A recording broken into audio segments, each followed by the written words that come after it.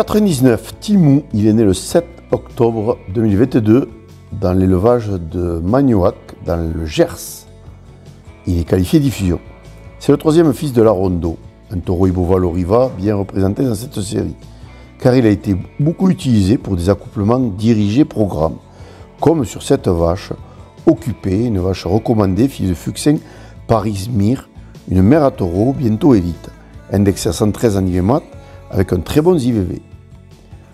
On est dans un modèle très viande et très précoce.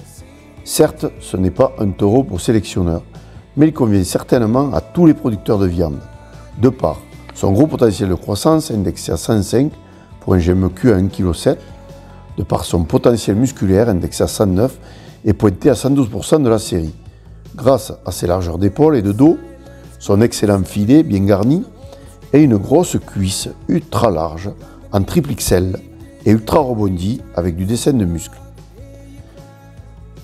Pas la peine d'en rajouter, les images parlent pour ça et vous pouvez les apprécier.